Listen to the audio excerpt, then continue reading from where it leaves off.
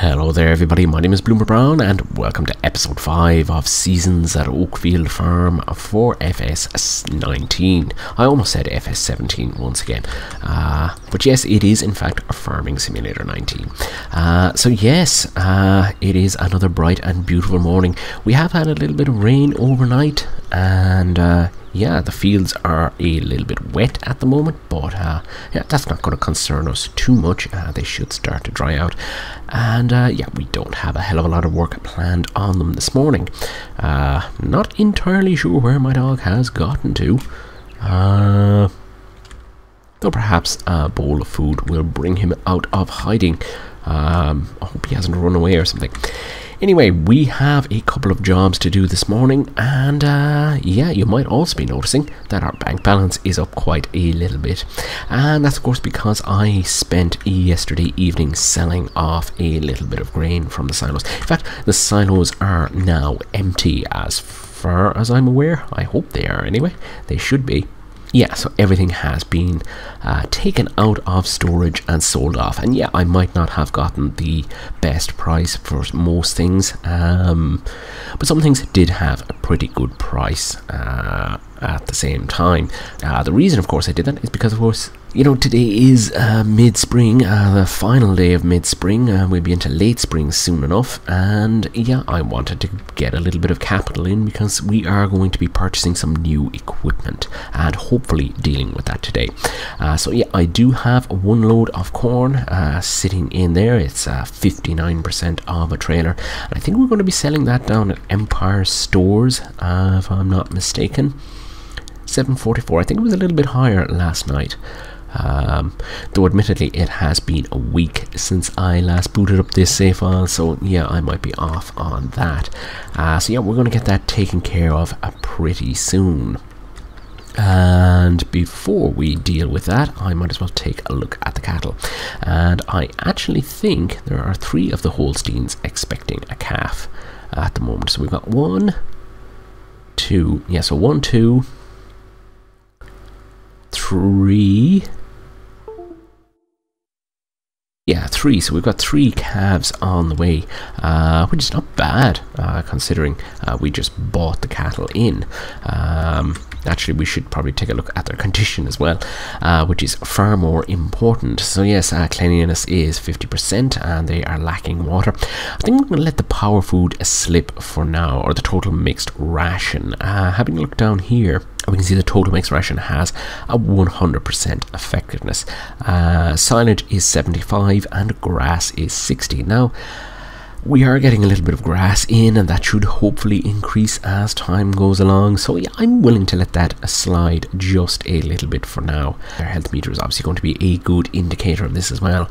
Uh, so yeah for now they are healthy and yeah I think you know we'll just keep the hay and silage topped up and perhaps they will go out and start grazing a little bit more. Anyway time to get these animals fed and watered or at least watered and uh, we're going to clean out their feeding area as well because you know they have uh, obviously spilled a little bit of stuff in there overnight uh, so yeah we're gonna get this tipped in here and we can pretty much pull ourselves out. It is a tiny amount of stuff that needs to be cleaned up, but hey, we do only have a small number of cattle, and it is really offset by the amount of water that these animals need. And I may end up actually installing the pump at some stage. Uh, before the summer because yeah keeping on top of water is yeah it's going to be something that we really need to do uh, so yeah I'm gonna hook on to our milk container which is uh, currently being used to bring water up and down to the cows and yeah as you can see I have just dumped both tankers here uh, in a bid to try and bring enough water into them. I think there's still a little bit left in the Joskin, uh, but I'm going to fill up on this first and see if we can get it emptied into there. And yeah, the animal work can at times be a little bit repetitive, but it's a case that, you know, I've spent a lot of time uh, doing field work uh, over the past couple of episodes. And you know people do like to see a little bit of the animal work too so uh, it's worth including it. Uh, so let's see if I can back myself around here and get ourselves into the trigger. Nope. Yeah, I failed completely with that. Uh, yeah, once again, articulated trailers are not really my thing. Uh, so let's see if we can pull close enough coming from this side. There we go. Close enough is good enough. And yep, we're going to let that drain in and see how much they take. And yes, their cleanliness has come up. It does take a little bit of time to register. And yeah, the water is also getting filled in. Um, and I notice that there are no brown cows now. Uh, a couple of times when I have spawned in, the has that cow sunk beneath the ground, or is its leg, or its legs just incredibly short? Uh, something just looks wrong with that. Uh, but yes, from time to time, uh, as I come into the field, uh, a lot of the black gets replaced with brown, and it's a case that yeah, I end up with a field of brown cows, and also some black, uh, some white and brown cows, which is a little bit unusual. And yeah, they also seem to be a little bit cleaner. They're often covered with muck uh, when I come in. Um, so yeah, it's a little bit unusual. Some of the textures uh, not behaving as they should. Um, but yeah, it's a case that I'm not overly worried about that once the animals, you know, kind of behave themselves and, you know, don't end up dying on us or anything like that. Uh, so a quick look again. Yeah, interestingly, speaking of animals dying, uh, there is no total number any no, anymore, I notice, uh, which is a little bit unusual. You kind of have to count the cattle individually to make sure they're all there or something. Um, yeah, though I'm sure we get a notification if any of our animals actually die. Um, but yeah, it's a little bit unusual that we don't have a total head count. Anyway, uh, yeah, cleanliness is fine. Water is pretty much fine. I may actually see um, if there is another little drop in the Joskin and we can drop that into them as well. Yeah, and they've taken quite a bit of that as well. Uh, so yeah, that should keep them uh, going for now. Uh, may actually take a look at the grass growth just to see what it's up to at this stage growth is at 67% and crop moisture is at 31% uh, which is understandable after the night's rain and yeah soil moisture is at 19% which is just a little bit less than saturated uh, yes interestingly uh, during the break I did have another look through at field number one uh, because of course it is and has our field sprouted? I think it might have. Yeah, and we've got a little bit of germination failure uh, out on field number two, which is a little bit sad, but we're not going to worry about that. Uh, the main point I did want to talk about, of course, was why we have second stage fertilization on field number one, and that is, of course, because the last farmer that had field number one left it fallow, so it has had a season with nothing growing on it, and that's what has happened there. Uh, it may also uh, explain why we have had, you know, some patchy germination here and there on field number two, uh, because last year it was uh, planted with a cereal crop, and yeah, we've gone for a cereal crop again. Uh, so yeah, it may be a case that we will go up and check out these fields this morning, and perhaps, or this afternoon maybe, and uh, perhaps spray out some fertilizer uh, just to give them a little bit of a boost. Uh, it's something you want to really keep on top of uh, because if it goes too far, as far as I'm aware, and I did have this trouble uh, on the Ballymoon map, if you remember, uh, with the biofuel willow field, uh, where I was too late coming in for fertilization, and yeah, fertilization just wouldn't accept on the field, even though you could still quite happily spray it out. Uh, so yeah, it's a case that I want to keep on top of fertilization because it will only take in the earliest growing stages. Okay, so time to yeah, we might as well actually drop the John Deere here. I'm gonna drop jump into the case and we're going to head down to Emerald Stores. Uh, let me just double check that. Ah, yes, Empire Stores. Uh, it's offering us 774 uh, for the corn. I'm assuming that's per thousand liters or something. Uh, so yeah, we should get a fairly decent price out of this. Um, so yeah, gonna take this down and get it sold off. Uh, so yes, nine thousand six hundred and seventy-nine pounds, which is fantastic. And so back in the yard, it's time to find somewhere to ditch this trailer. And I think for now, because you know we're not actually, although yeah, I do tend to use this area to turn around quite a bit, so I may just back it in uh, into this little overhang area here. Uh, as it turns out, this is actually a beet store or a potato store or something like that, I think. Uh, I, am sure you could pile grain on the floor as well. Uh, but yeah, that does explain its really rather unusual interior, uh, which had me puzzled for a little while. I was wondering if it was a silage pit or something like that. But yeah, this is a grain store, beet store, potato store, uh, where, you know, with a concrete floor where stuff just basically gets piled up. So yeah, kind of nice to have that on the map. And it may be a case that we end up getting into potatoes at some stage. Uh, but for now, we have a contract to complete, and I think I'd rather get the contract done before I go purchasing any equipment, just so that we have a little bit of extra money on hand.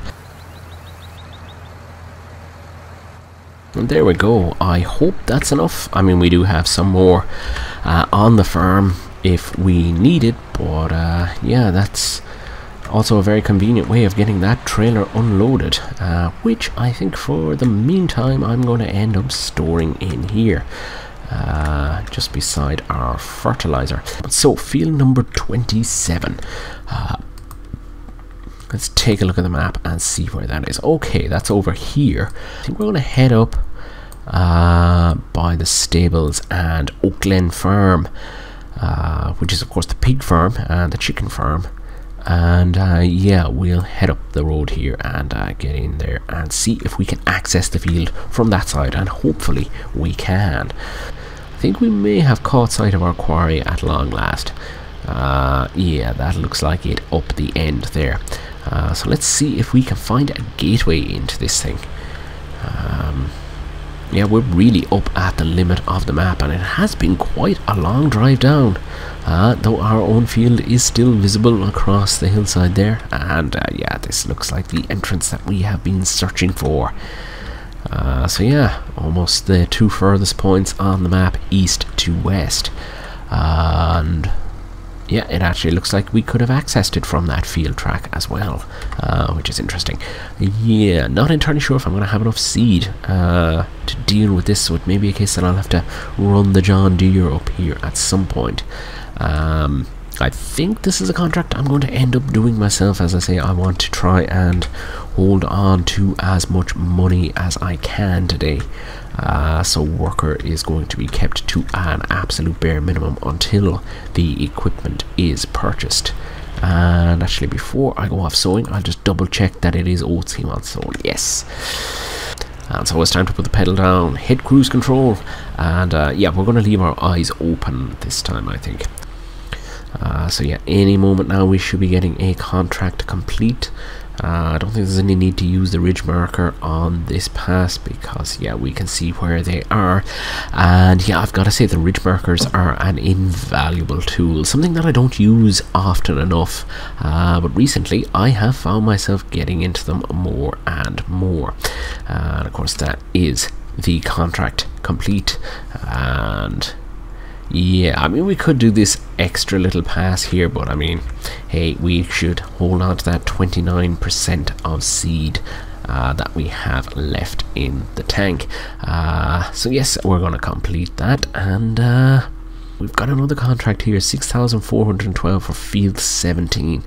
Oh yeah, field 17 was the field that we uh, took care of yesterday. Do I think I can do it for that price? Probably not. Liquid fertilizer is ridiculously expensive, uh, though I think the pelleted stuff might be a little cheaper. Uh, we do have a sprayer, and yeah, I think that's a contract we're going to let slide for now. And uh, Seven Springs Pub. Uh, Deborah Joseph is looking for something to be transported uh, from the pub to Hilltop Stores. But that's actually a contract I may take because I haven't done a lot of these contracts. And as far uh, Hilltop Stores is, of course, the store uh, that is just up the hill, as it were, uh, from our farms. Uh, so yeah, the pub should be up along here somewhere, if I'm not mistaken. Uh, perhaps it's in one of these buildings here. Uh, there does seem to be a large car park there. Uh, so I think we're going to pull in and have a look. Uh, see if we can find our pallet. Oh, and there we go. Uh, it seems that we are in the right place, and that looks like uh, a pallet of some luggage or something. Uh, which is, uh, yeah, I mean, that's a little bit unusual. Uh, thankfully, it is only one pallet, and uh, I didn't need a trailer to get this transported. So yes, this is Hilltop Stores. Uh, not entirely sure where we drop it. Do we drop it here? Maybe. Transport finished. Excellent and uh, yeah we can go into the contracting system and uh, complete that contract and the only other available contract is for field 17 fertilizing and yeah that's not really something that I am interested in Okay, so uh, yes, equipment. Uh, so we are going to be needing a couple of bits. Um, so the most critical one, of course, is going to be a baler, and the convenience of having the Kuhn is that you're not making two passes over the field. You can bale and wrap in one go. And yeah, I mean, we are dealing with larger fields on this map, so it's a case that, yeah, uh, we do have more than enough space, and I think we should have more than enough horsepower uh, to power this thing as well. So yeah, it's a case that we are going to be purchasing a brand new baler uh, which leaves us with 38,000, almost 39,000 pounds. Uh, and we still need to get hold of a windrower. And as it turns out, the windrower I am looking for is a little bit expensive uh, because I would like to go for a slightly larger working width. Let's actually take a look and see uh, where we are with loans at the moment. Uh, so we're going to finances and uh, yeah, we're 140 in the hole. Uh, let's see if we can extend that a little. Uh, yeah, so 73, which puts us at 175,000 behind. Uh, but it would be worth it to get this equipment. Uh, so yeah, another 62,000 for a windrower. Uh, okie doke. And I think finally we are actually going to see about a front mower. Yeah, the, the speed bonus that we're going to get from having an extra mower on the front of the tractor is really going to help. Uh, so we are in fact going to purchase that outright as well.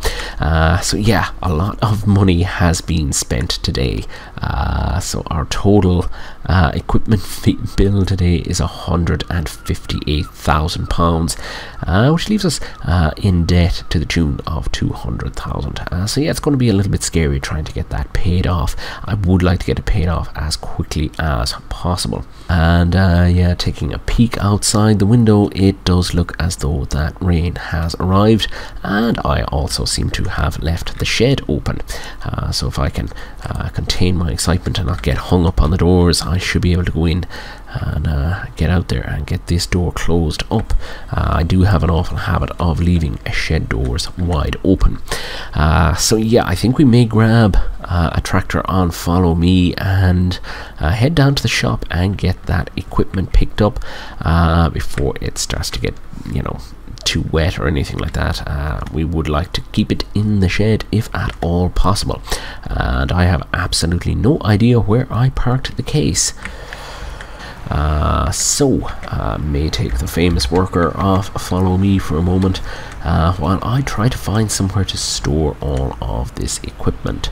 And I'm actually thinking, uh, straight off the top of my head, that some of those storage sheds uh, down the back there might have been uh, not a bad idea. Though I think for now we can actually pop the windrower in here. Uh, just out of harm's way.